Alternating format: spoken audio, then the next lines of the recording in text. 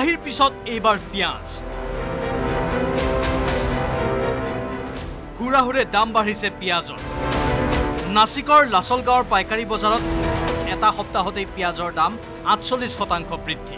দেশৰ সৰ্ববৃহৎ পিঁয়াজৰ পাইকাৰী বজাৰ লাচল গাঁও এ পি এম চিত পিঁয়াজৰ দাম বৃদ্ধিয়ে কঢ়িয়াই আনিছে অশনি সংকেত।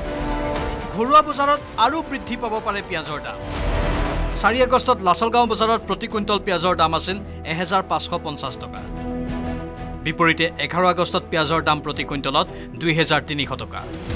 আঠ মাহৰ ভিতৰতে পিঁয়াজৰ পাইকাৰী বজাৰত এনে মূল্যবৃদ্ধিৰে অভিলেখ ৰচনা কৰিছে। ডিচেম্বৰ মাহত পিঁয়াজৰ দাম প্ৰতি কুইণ্টলত দুই হেজাৰ তিনিশ এঘাৰ টকা চৈছিলগৈ কিন্তু কিয় অস্বাভাৱিকভাৱে বৃদ্ধি পাইছে পিঁয়াজৰ দাম?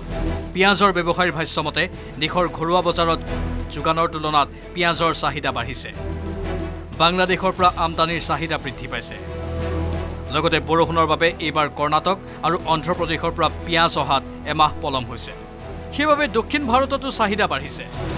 অধিক সংখ্যক কৃষকে খাৰিফ শস্যত ব্যস্ত থকা বাবে মণ্ডিত যোগান কমিছে। আহমেদনগৰতো যোগান কম হৈছে। সকলো মিলাই নাচিকত পিঁয়াজৰ দাম যথেষ্ট বৃদ্ধি পাইছে যাৰ প্ৰভাৱ প্ৰত্যক্ষভাৱে পৰিব সাধাৰণ লোকৰ ওপৰত।